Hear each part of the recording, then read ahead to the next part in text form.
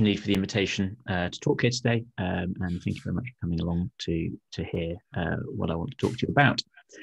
So uh, yes, uh, I've been in Glasgow for about three years now, um, and getting getting my group started up there.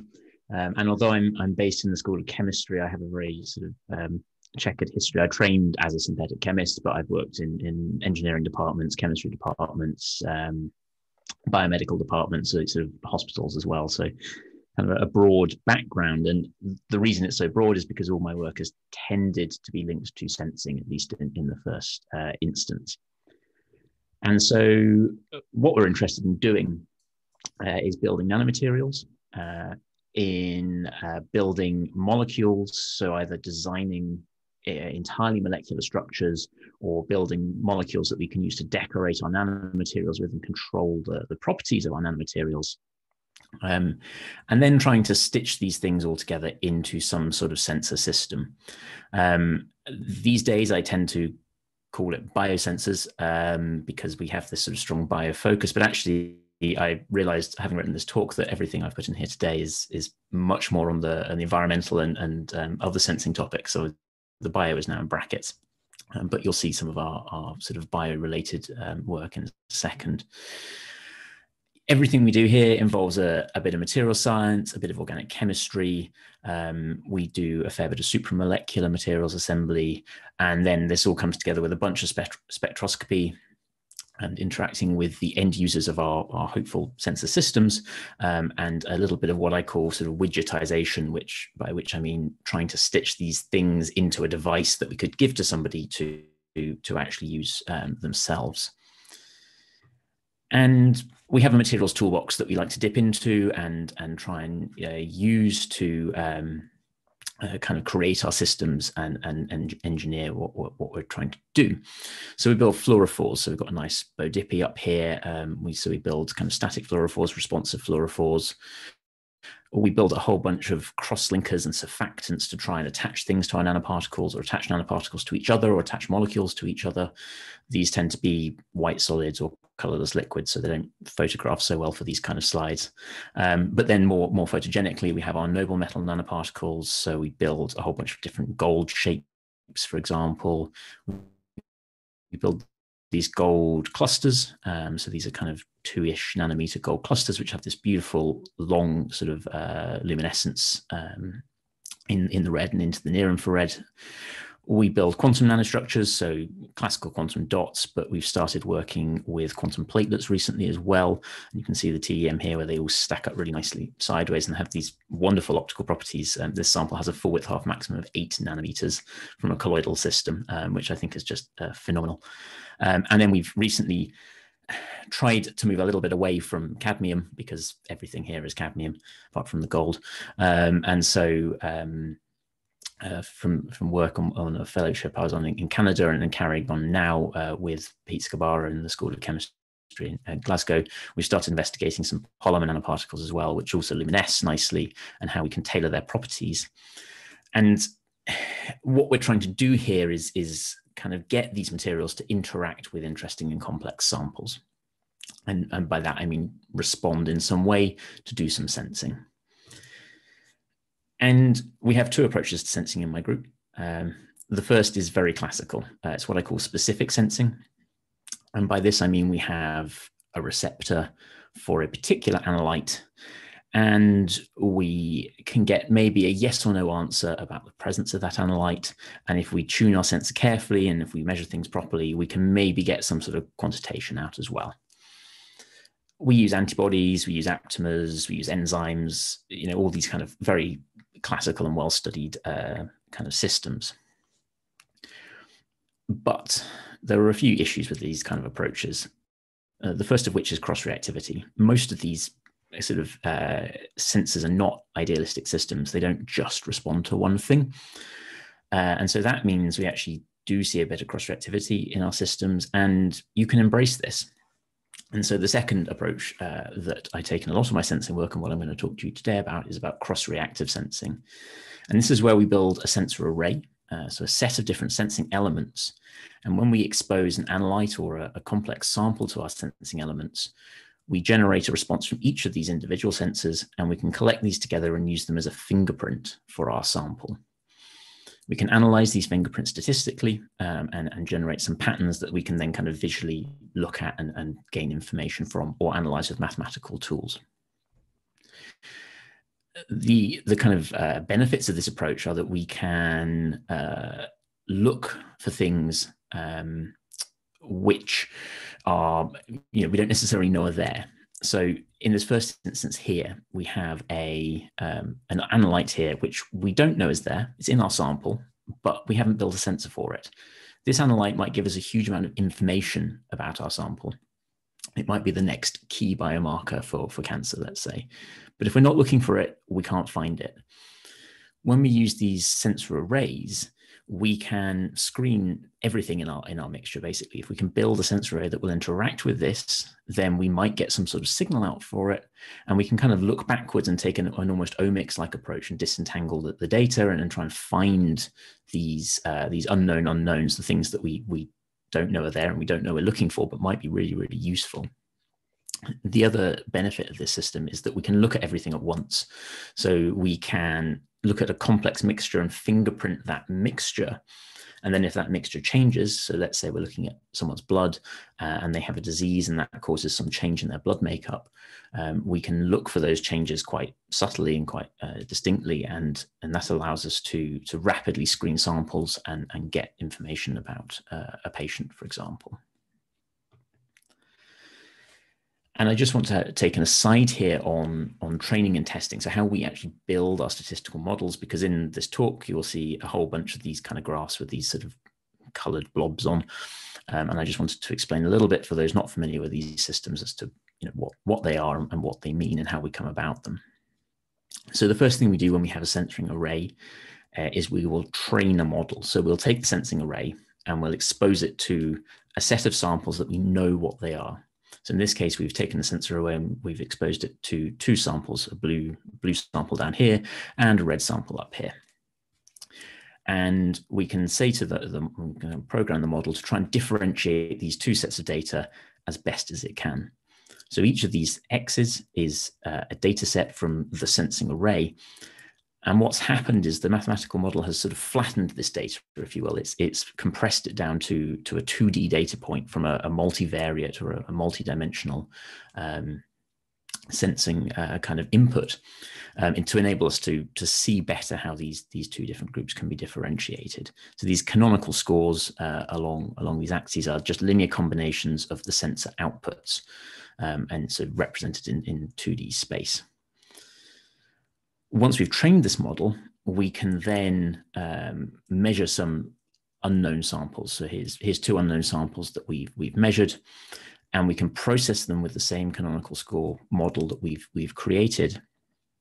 And we can look at how do these unknown data points sit relative to the rest of the data. And as you can see here, this point sits much closer to the blue data than it does to the red data.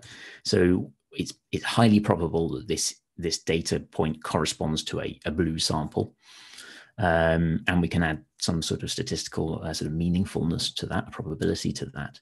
And if we look at the second example up here, it sits much closer to the red data than it does to the blue data. So it's, it's likely uh, that it's the red data. What we can then do is either measure these samples using some other technique, or if they're if we're blinded to them, we can unblind ourselves and see did we get this right? You know, how accurate was our our measurement approach? How accurate is our model? Um, and so we do this with with all our data. We can either do what's called a leave one out process, where we measure all our data, we cut out a portion of our data, and then we we run this process and then use that cut out portion to test it, and we can iterate that process many, many times uh, and see how accurate our, our data is. Or we can literally have two sample sets where one sample set the, the operator is blind to and we don't unblind ourselves to the very end um, and and uh, and then we can compare at the end and just see what the accuracy is on that that separate blinded uh, testing set. So we think these are a pretty versatile tool Um, and uh, in my group, we are building molecular sensing arrays to try and detect uh, early stage liver fibrosis, for example. So we're working with clinicians in London and Edinburgh to engineer polymer and molecular systems um, with molecular fluorophores in to try and uh, fingerprint patients' blood samples. We are building arrays to try and sense bacteria, uh, both in patient samples and in environmental samples. And this is this work's inspired by bacterial siderophore chemistry because there's this challenge of sort of detecting very, very low concentrations of bacteria in a sample. Um, and even if we can detect them, we want to know what strain they are. So we, we want to be able to detect and type our bacteria at the same time to maybe get some, some information on what sort of antibiotics we might use, for example. We're controlling our and exploring our nano toolbox a little more um, so we're trying to control the interfacial chemistry around our nanoparticles, as I hinted at before, in order to kind of tailor these sensing interactions um, and, and to build up these, these arrays uh, of sort of nanosensors and kind of looking beyond uh, biomedicine um, we're kind of looking at new challenges in and new markets for our sensing arrays, and, and these kind of come into consumer goods, fraud, quality assurance, and this kind of thing, and with a particular kind of interest in whiskey testing because when in Scotland, that's that's what one does. And uh, so today I'm actually going to focus on these two stories uh, a little bit and, and tell you what we've been doing. I felt these had slightly more of a materials focus um, rather than the, the very sort of organic chemistry which is going on on, on the liver project. And I'm going to start off with some quantum dots. So as I hinted before, my group makes a lot of, of colloidal quantum dots. Um, and uh, I apologize if I'm, I'm, teaching people to suck eggs here, um, but I thought I'd give a quick overview of, sort of what a quantum dot is. Um, so these are less than 10 nanometer colloidal semiconductor nanoparticles, and they are highly fluorescent. Um, they have very, very narrow emission colors, um, and we can tune the color by changing the size of the nanoparticle. So the smaller we make the nanoparticle, we increase the quantum confinement uh, of the exciton in our semiconductor, uh, and we widen the band gap, uh, and that gives us a bluer emission when we photoexcite them. We can change the materials. So these are cadmium selenide, but just hidden in the middle here is an indium phosphide sample. Um, so we can we can use different materials to make these and, and tune the color through choosing the material we tend to typically shell these materials as well. So we overgrow an epitaxial layer of a, an inert material on the outside. Um, if we use something like zinc sulfide, it, it just kind of protects the, the nanoparticle and, and maybe enhances the luminescence quantum yield a little. Um, but we can also uh, grow uh, shells which are offset band gaps to the to the core material, uh, and by doing that, we can change the, the band gap size and, and tune the color of emission. And so this sample up up here is one where we've grown a doped shell on that, which is uh, one of these type two systems, and so we've shifted the emission right through into the into the near infrared. And all of these are excited by one color. And this is why they're so attractive because we use one kind of blue UV uh, source here and we can, we can light up all these different color particles at once. They're really photostable, so we can leave these under the UV lamp all day long and they don't really bleach, unlike an organic dye, which would just dissolve away to nothing. Um, and they have a surface. And this is the really important bit for us because we can derivatize this surface with our ligand chemistries. So we make dots, we can make rods, we can make platelets, and we can try and put different things uh, on the surface using different ligand chemistries that we develop in house. Um, and and uh, sort of add some sort of sensor material to help our quantum dot interact with the world around it. And so the first project I want to talk to you about is, is actually the sensing of explosives uh, with the quantum dot array. And um, when I started on this work, it was reasonably well known that you could quench a quantum dot using an explosive. So you could bring something like TNT close to the surface of a, a colloidal quantum dot and it would dim. You would see a, loss in emission. And this is because there's a, a photo-induced electron transfer um, from the sort of electron-rich excited state of your quantum dot to your very electron-deficient electron accepting uh, nitro explosive. And um, we were interested in exploring these for um, partly for sort of homeland security applications, um, but also for an environmental application, which is range monitoring. When the uh, MOD go out and test all the new toys on Salisbury Plain or, or sort of similar places, then there's a pollution issue that the materials from the explosives get into the groundwater, get into the soils, um, and these materials over here are nasty. They're carcinogenic. They're really quite toxic. Um, so around um, munitions ranges, around munitions factories as well, which is an issue up near where I live in, in Scotland, um, there's a potential pollution hazard. And so to have a quick and easy test for the presence of these materials at low concentration is really important. But more than that, we want to know what material is present. You know, it's all very well going there's an explosive here, but actually, what which tank has leaked? Was it the was it the DNT tank? Was it the TNT tank? You know, which which munitions are contaminating? Was it the ones with RDX in it? So we we wanted to be able to not only detect explosives, but also determine uh, which explosives were present. And so to do that, we built an array. Uh, so we had um, a set of different quantum dots. They had a set of different functional surfaces on them that tried to, to bring these materials closer or, or keep them away uh, and to get a variable quenching response. And that's our fingerprint, our fluorescent fingerprint for each of these different explosives. So I promised you a little bit of organic chemistry. Uh, so here it is, uh, the last bit I promise. Um, we tried to build different surfaces to attract uh, the different explosives selectively. So we used um, materials that we thought would pi stack. Um, so kind of form these elastoplast type complexes with uh, things like uh, DNT and TNT, these nitroaromatic compounds. The nitroaliphatics are a little harder. They don't interact so well. Um, and so we thought we could use uh, these cavitands that have a really hydrophobic uh, inside face that they might uh, sort of uh, get the explosive to go inside and hold that close to the quantum dot surface. So we, we played around with beta cyclodextrin. Um, I actually came up to Cambridge and did a little bit of work with Oren Scherman, and, and we we were trying to build this monofunctional uh, cucurbituril. That was uh, was really sort of instructive six months of my life trying to work with this molecule. Um, and um, and then we also had this calixarene here, which which actually did dual duty because it has the hydrophobic inside, but it's also aromatic, so it it could potentially interact with kind of all of our explosives to some degree. And we wanted to put these on the surface of the quantum dot. So we built a kind of common derivatized molecule. And that's really where my group kind of come into their own as we, we build these molecules where we have a sort of common end group. Uh, here, uh, lipoic acid, so a dithiol that will stick nicely to our, our quantum dot surface. And then some sort of uh, generic thing that we can attach all this stuff with. So here, an azide, um, and all these you can see are functionalized with alkynes, and we can do a click chemical reaction, a copper catalyzed reaction that allows us to stick these things together um, kind of on will. And so we had uh, we had molecules that had the calixarene on the end, the cyclodextrin on the end. And we also looked at some molecules that had sort of generic end groups. Um, so things that had an OH on, things that had a, just a long chain peg with a methoxy on that were sort of almost like blank surfaces um, to, to explore the interaction of those as well.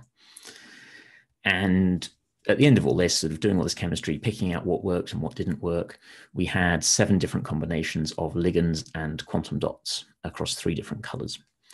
And we screened a bunch of these to see what, what would detect explosives and what just didn't respond at all to explosives.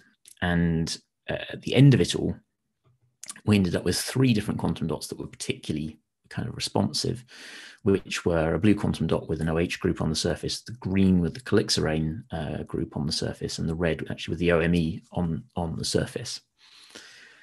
And we screened these as uh, in what I call single channel mode. So you had one quantum dot in the in the in the vial. You add one portion of one explosive, and you measure that, and you do this many, many, many times for all your different possible combinations to try and sort of isolate what what's doing what we got limits of detection uh, in the parts per billion range, which was you know, very promising.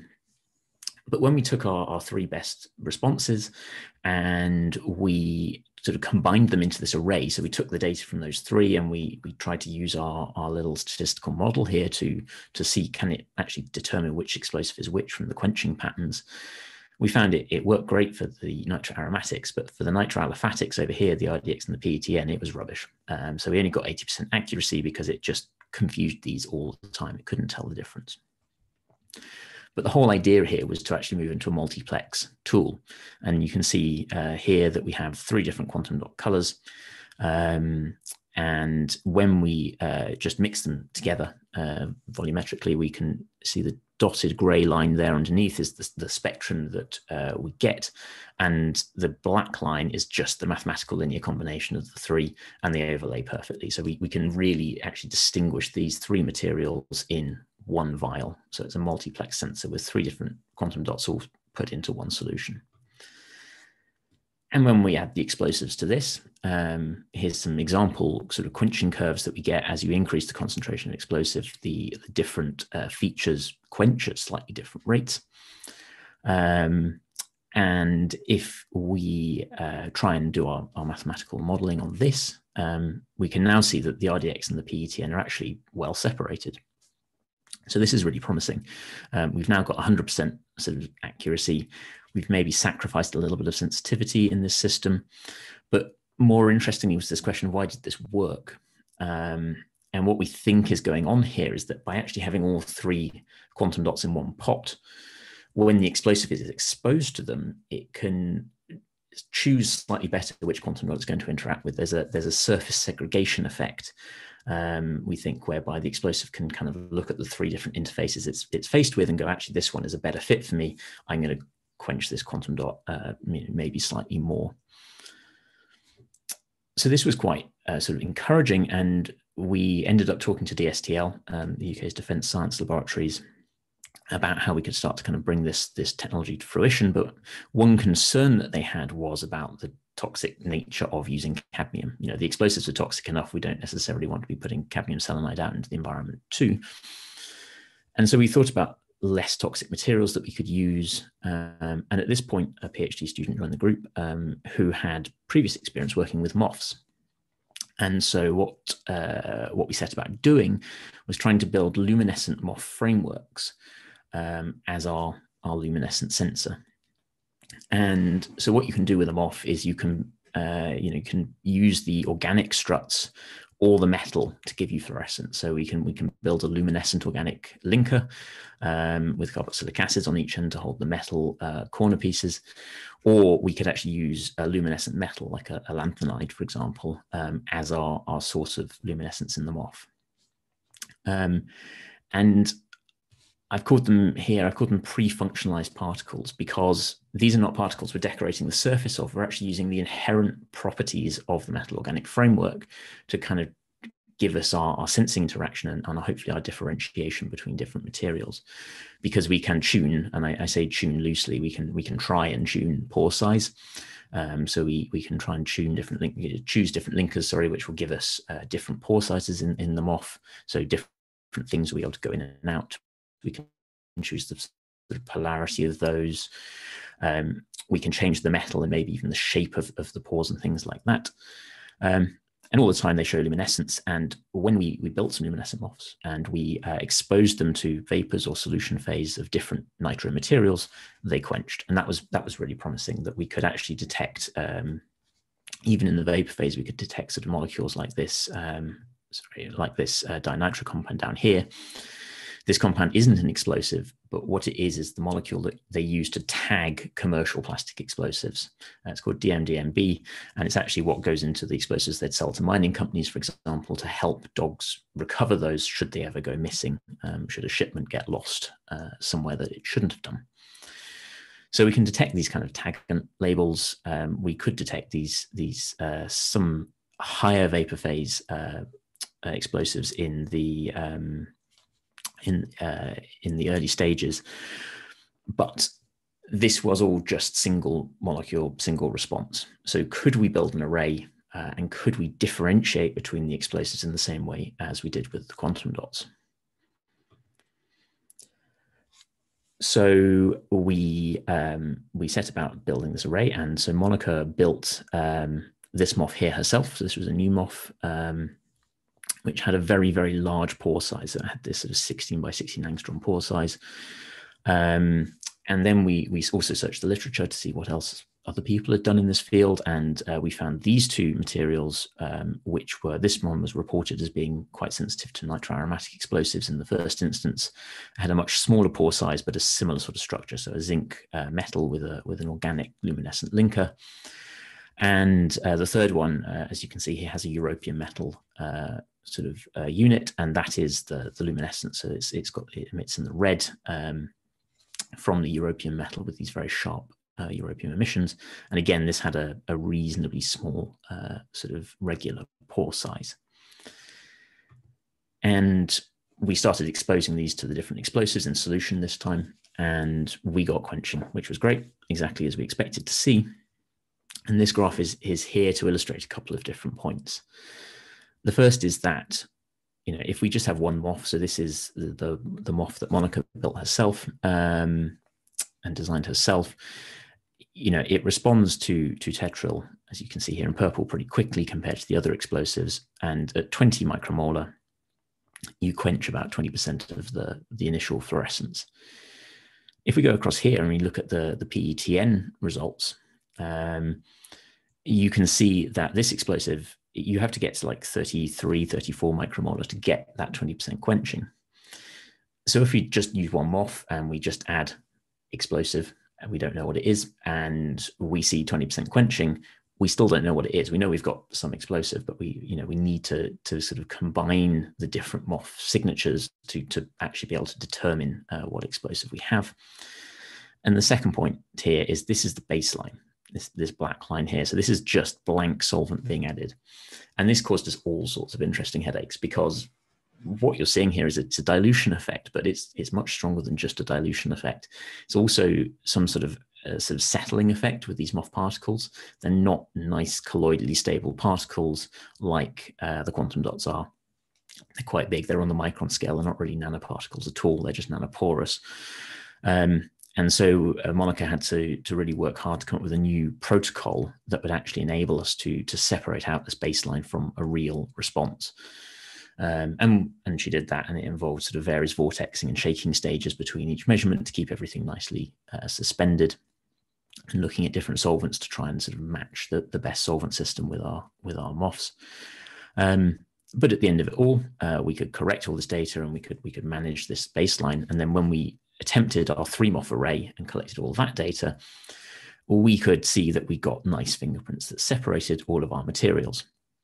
So this is the the um, the score plot again uh, as before. This is a, what we call a confusion matrix, whereby numbers on the diagonal are good, numbers off the diagonal are bad. That shows that the the you know here the DNT is being mistaken for TNT. And there's a little similarity between DNT and TNT. They sit close in space. That's not unexpected because they are chemically very, very similar. Um, what was quite exciting here is we could determine PETN very well. That hadn't really been done before, um, and this was due to our large pore MOF. So this uh, this AM1 that has this this really large pore size that could maybe actually get a PETN molecule inside it, uh, whereas the other smaller MOFs may not be able to. Um, and the other thing that we did here that was quite uh, sort of different was we screened a range of concentrations. All too often, you look at these kind of uh, works in the literature, and they take one concentration and they they just do it the same for everything, and they say we can differentiate. And we've been guilty of this ourselves in the past. And what we were thinking about here was, well, you know, we don't know what concentration we're actually looking for. So how do these fingerprints, these these uh, you know deterministic and differentiating sort of scores we give them, hold up if we change the concentration of them off? So we collected data over a, a, a you know much larger range of concentrations than people had looked at before. Um, and you can see that as we start to introduce these lower concentrations in there, things start to kind of drag together a little bit, and we we sort of head towards the middle of the graph, which is you know again, not unexpected, very small amounts of stuff and maybe slightly harder to differentiate, as you can look down here, than very large amounts of stuff where there's big signals. But even sort of going down to so there's 20 micromolar, and we actually went all the way down to six micromolar, um, we could still get above 70% accuracy. And what really did happen was the DNT and the TNT started to collide. So you can see here that you know, this number has, has gone up um, between the two. Um, and that's showing that these these are starting to overlay, and our model isn't necessarily so readily able to to differentiate between uh, the samples that we're looking at. But it was still a promising result. And the other thing that we wanted to investigate here was actually one of mechanism. And this is quite interesting for these MOF sensors because there's kind of various schools of thought out there. Um, the first one, which we got hit with, was well, your MOFs are just degrading, uh, just these these sort of things that you're dosing in, and they're just causing the MOF to fall apart, and that's why your fluorescence is is changing or going away. Um, so we did some XRD in situ with, um, you know, exposing the MOF to um, to different explosives in in uh, sort of uh, different concentrations, and actually we didn't see a huge amount of change in our XRD patterns. Um, we don't see any great big sort of amorphized baseline or anything like that coming out of there. So we think that these aren't falling apart; they're staying, you know, pretty intact. Um, and the other school of thought is one of um, a sort of screening mechanism, an optical screening, whereby these colored curves down here are the absorption spectra for the different explosives, and this black uh, broadband emission is the emission from one of the MOFs. And you can see here there's a there's a nice overlap between them.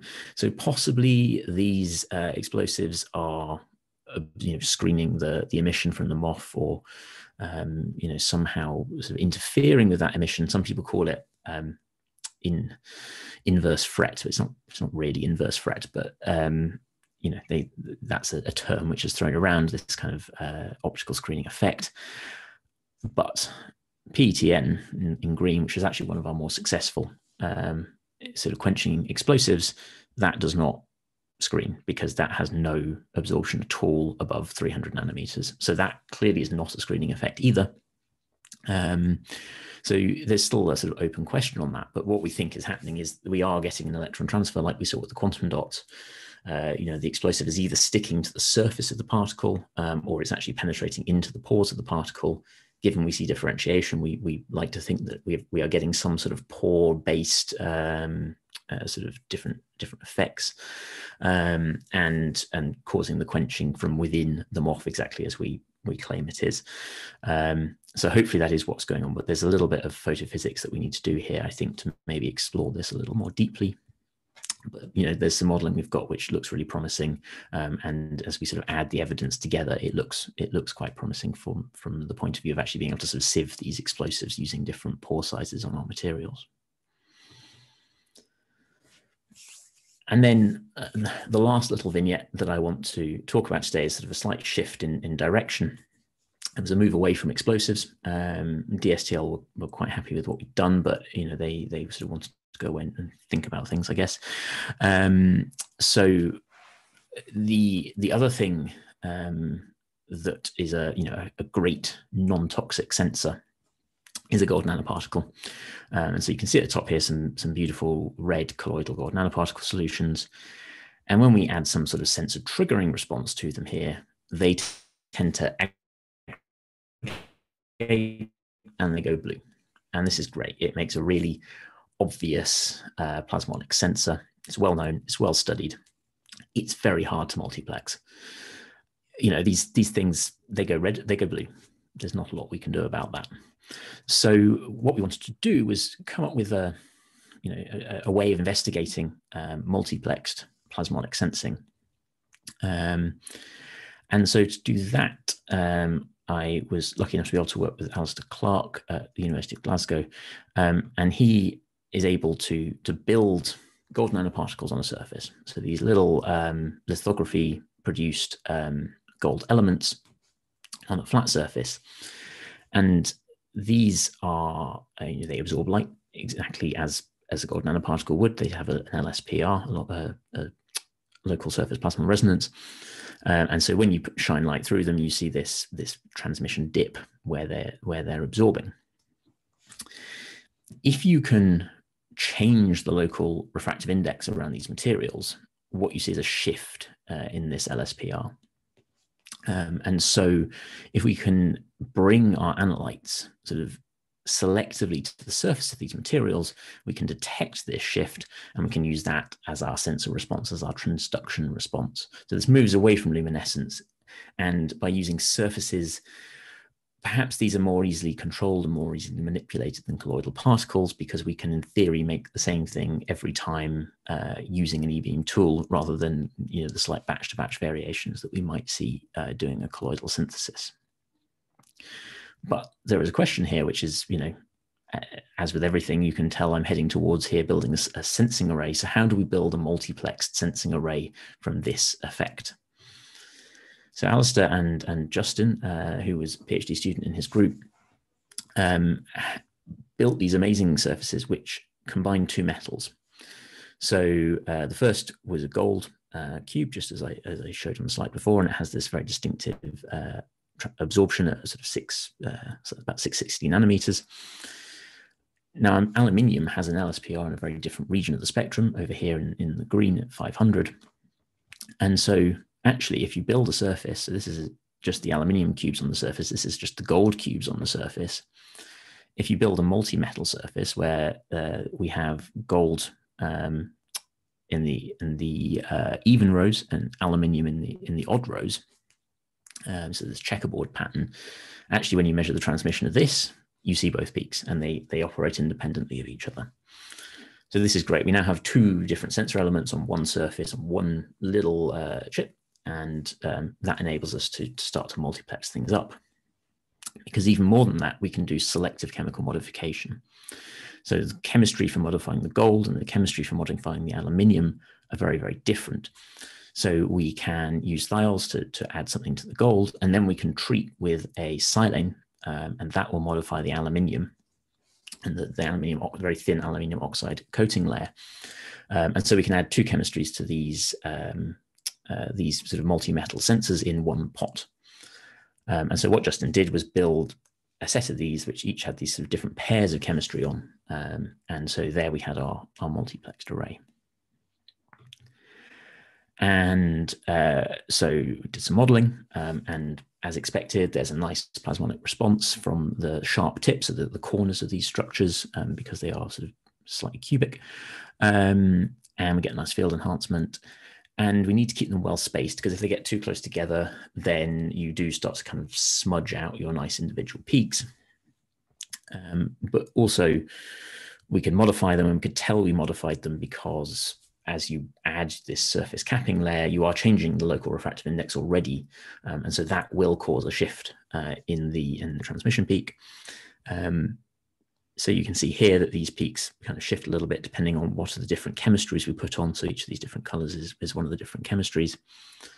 Um, and in the singleplex mode, uh, sort of the monometallic sensors up here, these are one chip is gold, one chip is aluminium. So these, these peaks are from separate chips um, and they, they behave in a certain way. In the bimetallic sensor, this is where the gold and the aluminium are inter, interleafed in this checkerboard pattern. Um, we do the same process, but in the one pot. And the, the changes we see are very, very similar to what we see in the monometallic in terms of the, the, the sort of nanometers shift, which is what we're interested in here. Um, and so that's promising. That suggests these things are really operating quite independently um, and able to sense things independently, which is exactly what we want in our multiplex sensor. Justin then wanted to use these to taste whiskey. So uh, what he did was expose these um, monometallic sensors or these bimetallic sensors to a whole bunch of different whiskies, and we studied how well did this did these sort of uh, sensors taste the whiskey, um, and did uh, monometallic or mul- uh, sort of multi-metallic um, you know, work better. So here's the results. So we have uh, the water is actually off off to the left here. I've not shown it on these uh, zoomed in graphs, um, but we had some ethanol, just 40% ethanol in water, some vodka, effectively just 40% ethanol and water, and then a whole bunch of seven different whiskies. Uh, so the one to three were from the same distillery but different ages. Uh, four to six were from the same distillery but different casks. Um, so a sherry cask, a bourbon cask, and a rum cask. And then the seventh one was a bit of a wild card. That was a peated whiskey, a heavily peated whiskey, um, as, a, as something slightly different. And you know the results were kind of interesting. You can there, there are some things you can read into these plots. There are some things you can't. So, for example, uh, particularly on the multiplex, the water and the vodka sit quite close together that's exactly what we want to see. That's exactly as we'd expect. That's telling us that, you know, the changes we see for the other samples are coming from their, their the fact they are whiskey. Um, so we can uh, use those as a, you know, this, this tongue is picking up on compounds in the whiskey. It's not just measuring the strength of the alcohol. Um, and then we sort of wondered if we could actually pick up on the you know, on the, the origins of the whiskey a little bit as well. You know, does does a longer time in cask correlate to you know, a, a particular position on this plot? Not so much. Um, but there is some interesting work that we can do around that, which I'll touch on later. But one of the key things was was singleplex or multiplex better? Um, and the the answer was not really. So here we don't necessarily think we're getting any different surface segregation depending on whether we've got everything in one pot or everything else in the other pot, but they are different. So maybe there are some slightly different chemical processes going on. But one thing that was key from the multiplex was it just made measuring everything quicker. You know, it's just one one chip rather than a whole bunch of chips, um, and so you can actually get your readings much much faster because you have you know both both your peaks measured in a single in a single shot. Um, and so this is you know this has really opened the door for a few different projects. So here's some more whiskies on the same chips being tasted and and again looking at sort of different verticals different ages um, different um, sort of sort of rare whiskies versus modern day whiskies. Um, and I've added a third axis here just so you can see that you can you know you can look at these data in 2D as you do here. Sometimes you see these things overlapping and actually they're not overlapping because you can add you know as many sensors as you add you add more dimensions to your data. Uh, and so you can start to look at these things in higher dimensional space and, and sort of tease apart smaller changes. Um, and this led us thinking about fraud. You know can we use this sort of sensor to to taste an old whiskey keep it on a database if a bottle of that then came up for auction. Could we uh, test that with the sun with our little sort of uh, plasmonic tongue we've got here? If that uh, overlaps with the, the, the response we had before fantastic. It's probably genuine. If it looks really really different well maybe either it's gone off or maybe it's a fraud um, so hopefully I've shown you, you know, sensing arrays are a pretty versatile tool, um, and we're yeah we're sort of now expanding out this into into the biomedical world as well as, as sort of the environmental and and quality assurance world. Um, and with that, I would like to thank my group. Um, here we are in a socially distanced Christmas meetup um, outside, uh, no more than a meter and a half apart. Um, so these guys uh, build a lot of the nanoparticles and a lot of the molecules uh, that I've shown you today. Uh, and I'd also like to thank my collaborators across a lot of these projects, particularly uh, Dr. Alasdair Clark on the plasmonic work, uh, Dr. Monica Jurcic, who built all the MOFs, Professor David Scanlon at UCL, who did a lot of the modeling for the MOFs for us, and Justin Sperling, who, who was helping on the plasmonic work as well. Um, all these guys for paying for all of this. Um, and just to leave you with a, a, sort of summary, which you know I think these nano toolboxes are really powerful. Um, we can widgetize them, and we're starting to move towards this sort of how do we make this into a, a gizmo that we can hand to a, a clinician in in a clinic. Um, and to do this, we can derivatize our nanomaterials in all sorts of different clever ways, and, and that's what we're really interested in doing. Um, all we have to do is is pick our material, pick our surface, and try and tune it to the uh, the response we want. So with that, thank you very much indeed for your attention, and I'll happily take any questions.